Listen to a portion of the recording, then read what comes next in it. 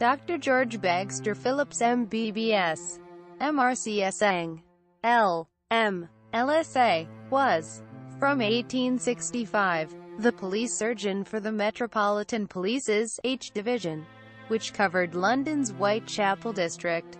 He came to prominence during the murders of Jack the Ripper when he conducted or attended autopsies on the bodies of four of the victims, namely Annie Chapman, Elizabeth Stride, Catherine Eddowes and Mary Jane Kelly. He was called by the police to the murder scenes of three of them, Chapman, Stride and Kelly. Detective Chief Inspector Walter Dew, who was a detective constable in the Whitechapel CID throughout the Ripper investigation, and who knew Phillips well, remembered him as being in his 50s in 1888. He was a character, Dew later wrote, an elderly man. He was ultra old-fashioned both in his personal appearance and his dress. He used to look for all the world as though he had stepped out of a century-old painting. His manners were charming. He was immensely popular both with the police and the public, and he was highly skilled. Phillips lived at 2 Spital Square in Whitechapel. Early career The son of Sarah, née Bagster, and Henry Phillips, George Bagster Phillips was appointed a member of the Royal College of Surgeons in 1861. The Times referred to Phillips again on 6 March 1882 when Marianne McCarthy, aged 17 and living in a common lodging house in Spitalfields, was charged on remand with feloniously cutting and wounding Henry Connor by stabbing him with a knife. Again, Phillips dressed the wounds of the injured party. Annie Chapman Phillips was called by the police to 29 Hanbury Street at 6.20 a.m. on Saturday, the 8th of September 1888 and arrived there at 6.20. He then immediately examined the body of Annie Chapman where it lay in the backyard. He stated that the body was cold, except that there was a certain remaining heat under the intestines in the body. Quote, he added that, stiffness of the limbs was not marked, but it was commencing, at the postmortem, conducted at 2.00 p.m. that afternoon. He also noted that, the stomach contained a little food.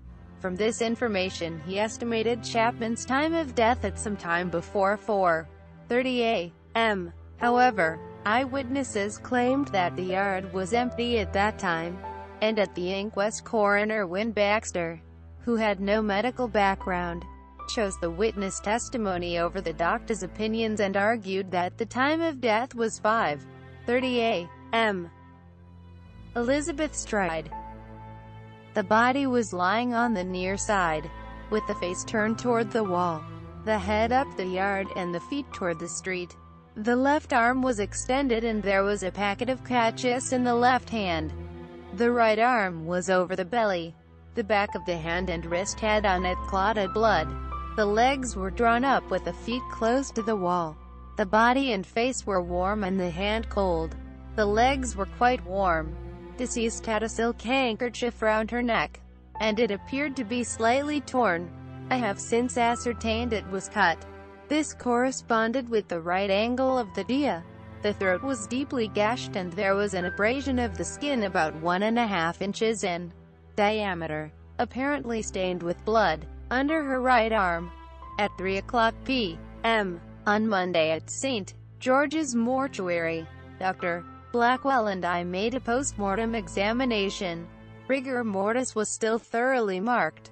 There was mud on the left side of the face and it was matted in the head. The body was fairly nourished. Over both shoulders, especially the right, and under the collarbone and in front of the chest there was a bluish discoloration, which I have watched and have seen on two occasions since. There was a clear-cut incision on the neck. It was six inches in length and commenced two and a half inches in a straight line below the angle of the dia, one half inch in over an undivided muscle, and then becoming deeper, dividing the sheath. The cut was very clean and deviated only a little downwards. The arteries and other vessels contained in the sheath were all cut through. The cut through the tissues on the right side was more superficial. and tailed off to about 2 inches below the right angle of the dia. The deep vessels on that side were uninjured. From this it was evident that the hemorrhage was caused through the partial severance of the left carotid artery. Decomposition had commenced in the skin. Dark brown spots were on the anterior surface of the left shin. There was a deformity in the bones of the right leg, which was not straight, but bowed forwards. There was no recent external injury save to the neck. The body being washed more thoroughly I could see some healing sores. The lobe of the left ear was torn as if from the removal or wearing through a veneering. But it was thoroughly healed. On removing the scalp there was no sign of extravasation of blood. The heart was small, the left ventricle firmly contracted, and the right slightly so. There was no clot in the pulmonary artery but the right ventricle was full of dark clot. The left was firmly contracted as to be absolutely empty. The stomach was large and the mucous membrane only congested. It contained partly digested food, apparently consisting of cheese, potato, and farinaceous powder. All the teeth on the lower left jaw were absent. Quote, Catherine Eddowes Catherine Eddowes was killed in the City of London and so her murder came within the jurisdiction of the City of London Police, who had their own police surgeon, Dr. Frederick Gordon Brown. He was called to the murder scene at Mitre Square.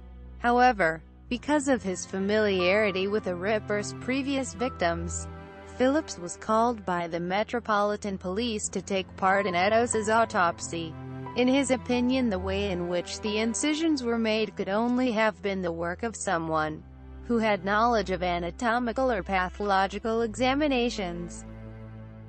Mary Jane Kelly I was called by the police on Friday morning at 11 o'clock, and on proceeding to Miller's Court, which I entered at 11.15, I found a room, the door of which led out of the passage at the side of 26 Dorset Street, photographs of which I produce.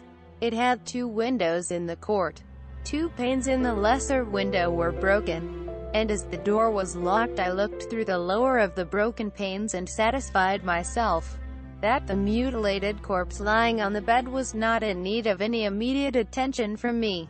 And I'd also came to the conclusion that there was nobody else upon the bed, or within view, to whom I could render any professional assistance. Having ascertained that probably it was advisable that no entrance should be made into the room at that time, I remained until about 1.30 p.m., when the door was broken open by McCarthy, under the direction of Superintendent Arnold. On the door being opened it knocked against a table which was close to the left-hand side of the bedstead, and the bedstead was close against the wooden partition. The mutilated remains of a woman were lying two-thirds over, towards the edge of the bedstead. Nearest the door, deceased had only an under-linen garment upon her, and by subsequent examination I am sure the body had been removed, after the injury which caused death, from that side of the bedstead which was nearest to the wooden partition previously mentioned. The large quantity of blood under the bedstead, the saturated condition of the palliasse, pillow, and sheet at the top corner of the bedstead nearest to the partition leads me to the conclusion that the severance of the right carotid artery, which was the immediate cause of death, was inflicted while the deceased was lying at the right side of the bedstead and her head and neck, in the top right-hand corner. This was only general evidence. The coroner, Dr. Roderick MacDonald, had told the jury that they would hear Dr. Phillips' full post-mortem report at the adjourned inquest, clearly indicating that there would be a further session, as had happened with the previous victims. However, after hearing a few more witnesses, he said that he did not know if the jury wished to bring in a verdict, all they had to go was agree on the cause of death leaving other matters in the hands of the police, and there was no point in continually going over the same matters. The jury conferred quickly, then said that they wished to bring in a verdict of willful murder against a person or persons unknown. MacDonald then closed the inquest. Consequently, The coroner had not complied with the legal requisite that the length, breadth and depths of all wounds to the deceased must be recorded and, with conflicting evidence having been given to the inquest, the time of death had not been established. Phillips had conferred in private with the coroner before the hearing opened, something he had wanted to do at a previous inquest but had been refused.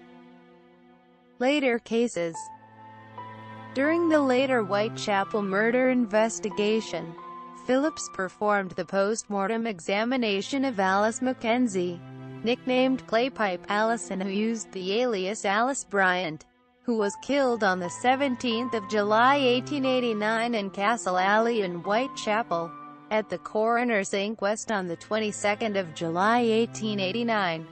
Phillips stated that the injuries to her throat had been caused by someone who knew the position of the vessels at any rate where to cut with reference to causing speedy death.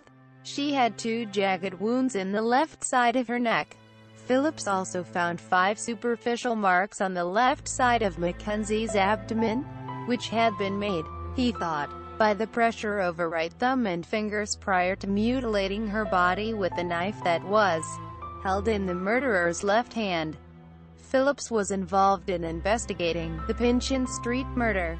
A term coined after the headless and legless torso of a woman was found under a railway arch in Pinchin Street in Whitechapel on 10 September 1889. After examining the medical evidence Phillips, Commissioner James Monro and Chief Inspector Donald Swanson concluded that the murder was not committed by Jack the Ripper.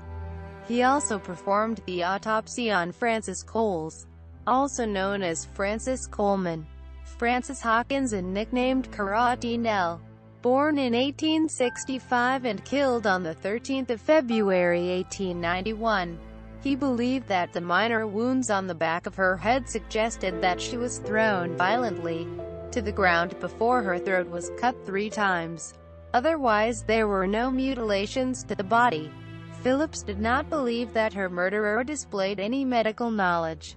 Cole's body was found under a railway arch in Swallow Gardens, Whitechapel. His obituary in The Lancet on 13 November 1897 described Phillips as a leading police surgeon in London. In it he was described by his assistant, Dr. Percy John Clark, as a modest man who found self-advertising abhorrent, under a brusque, quick manner engendered by his busy life. There was a warm, kind heart, and a large number of men and women of all classes are feeling that by his death they have lost a very real friend. Portrayal in film In the 1988 made-for-television film Jack the Ripper starring Michael Caine, Phillips was played by actor Gerald Sim.